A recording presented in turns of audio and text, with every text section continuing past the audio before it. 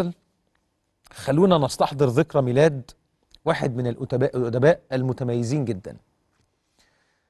الرجل المستحيل اللي خدنا معاه في قصص بطولية في عالم الأدب البوليسي والجاسوسية واللي سافر بينا في روايات أخرى في مغامرات خيالية لأنه رائد في الخيال العلمي.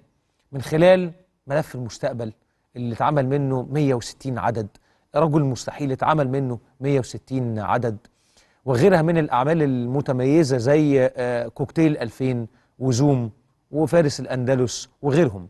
من قصص وروايات كانت ممتعة ويمكن من أمتع الحاجات بشأن كتابات هذا الأديب الراحل دكتور آه، نبيل فاروق هو إنه تميز آه، كتاباته خلت مجموعة كبيرة جدا آلاف مؤلفة من الشباب يرتبطوا بالقراءة من الصغر. النهاردة 9 فبراير هو ذكرى ميلاد الطبيب والأديب الراحل آه، دكتور آه، نبيل فاروق.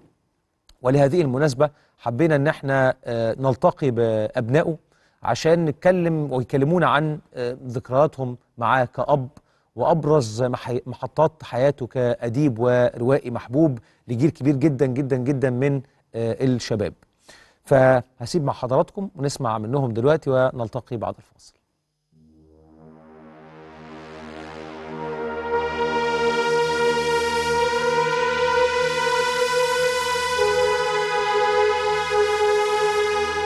رائد من رواد الصيغة الأصلية لأدب المغامرات والجاسوسية الدكتور نبيل فاروق. الذي نقب تنقيبا وراء إنجازات أبطال مصريين ليقدم أعمال تمزج ما بين الواقع بدقته والإضافات الأدبية بسحرها. فساهمت شخصية أدهم صبري التي أبدعها نبيل فاروق في رجل المستحيل في ترغيب الشباب في القراءة واقتناء الكتب. هو كان آه، في الأساس كان قارئ ناهم جدا للقراءة. في مختلف فروع الثقافة مش في حاجة معينة بس.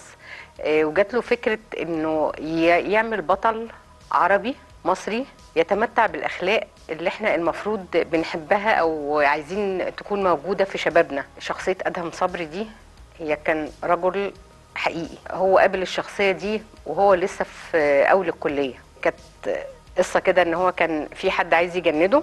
فالتقى بالشخصية دي وكان مبهور بيها جدا لأن الشخصية دي برضو كانت فيها صفات كتيرة كويسة جدا ومهارات عالية جدا وكانت بداية ال- أدهم صبري رجل المستحيل طقوس تعود عليها أثناء كتابته لهذه القصص.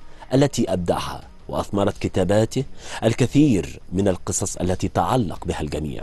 هو طقوسه في الكتابة هو كان بيصحى بدري وكان له مكتب خاص للكتابة ما كانش بيكتب في البيت أبدا. يتخلل طبعا الكتابة آه، توقف للتفكير يعني ساعات كان مثلا آه، يحط آه، أدهم صبري في مأزق مثلا وما يعرفش يعني هو بي- بيكتب الموقف لكن ما يعرفش الحل بتاعه إيه. فكان بيقعد بقى يعمل الموقف الأول وبعدين بيفكر في الحل وكان بيلاقي الحل طبعا. هو كان ليه أسلوب مميز قوي يعني لو قريت كتبه وأنت مش شايف مكتوب عليها نبيل فاروق هتعرف إن ده نبيل فاروق. فهو كان ليه طريقة كده في الكتابة دايما تخلي اللي بيقرأ لازم يخلص الكتاب لازم يعرف النهاية إيه. فبخلاف رجل المستحيل.